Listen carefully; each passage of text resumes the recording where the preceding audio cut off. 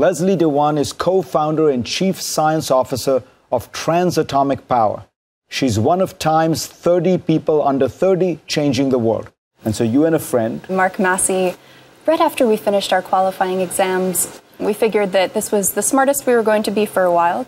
Mark and I started thinking very broadly just about nuclear reactors in general. So we looked at the six types of Gen 4 reactors.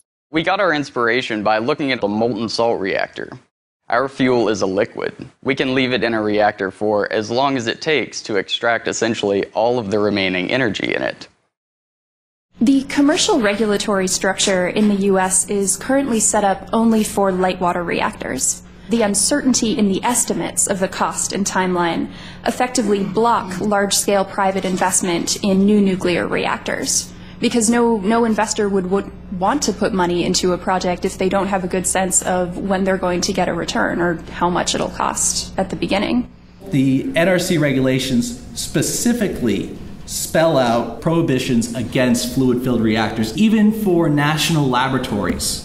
Uh, you cannot operate fluid filled reactor more than one megawatt without expensive license process running at about 150 uh, dollars per man hour. The NRC trusts sophomores in college more with light water reactors than they do national lab scientists with fluid fueled reactors.